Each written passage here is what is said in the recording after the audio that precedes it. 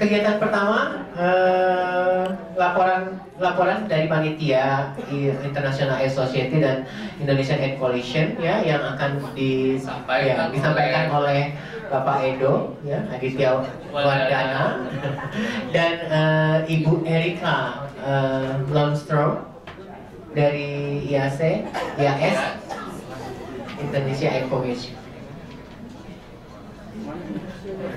coalition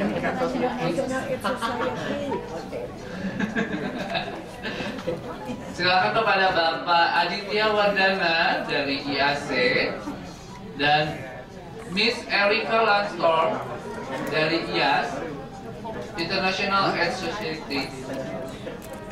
Society? Society. Society. Untuk menuju ke mimbar untuk menyampaikan terkait dengan laporan dari panitia. Silahkan. Gak nyala cuy. Nyalain gimana? Oh ya.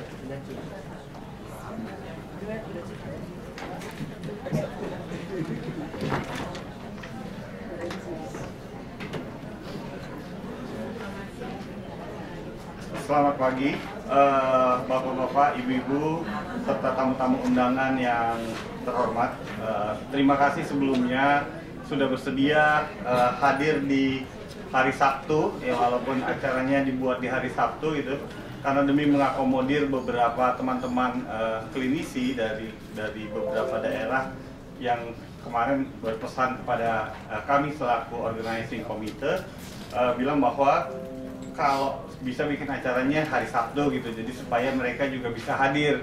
Karena kalau hari kerja ada kesibukan lain ada kewajiban lain uh, harus apa namanya bertanggung jawab kepada pasien-pasien. Makanya kemudian acara ini kita buat uh, di hari Sabtu. Selamat datang para pembicara dan peserta Lokakarya Post AIDS 2018 dengan tema Test and Treat Innovative Way Forward.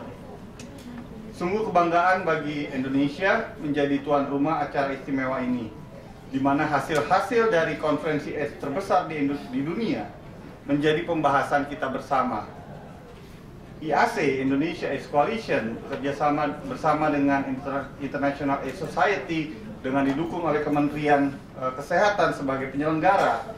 Dengan bangga melaporkan bahwa kualitas diskusi di sini kita harapkan bisa bertaraf internasional karena kita mengundang empat pembicara dari internasional serta kurang lebih ada sekitar 15 pembicara dari Indonesia yang akan memaparkan praktek dan inovasi yang ada di Indonesia serta usulan-usulan bagi program penanggulangan AIDS di Indonesia khususnya ke depannya. Ibu-ibu, bapak-bapak, dan kawan-kawan seperjuangan, saya dapat melaporkan sebagai ketua panitia bahwa dari seluruh Indonesia yang kami undang, saat ini hadir sebagai peserta ada perwakilan 120 orang yang terutama terdiri dari praktisi kedokteran, baik dari layanan umum maupun uh, privat, akademisi, serta masyarakat sipil dan tentu saja yang paling penting dan tidak kalah pentingnya itu adalah dari komunitas yang terdampak oleh HIV dan AIDS sendiri dari teman-teman ODA dari komunitas populasi kunci. Kami sebagai Local Organizing Committee sangat berharap hasil lokal karya ini bisa memperkaya kualitas penyelenggaraan program-program penanggulangan HIV AIDS di Indonesia di semua tingkatan dari nasional hingga ke seluruh pelosok tanah air. Terima kasih. Okay.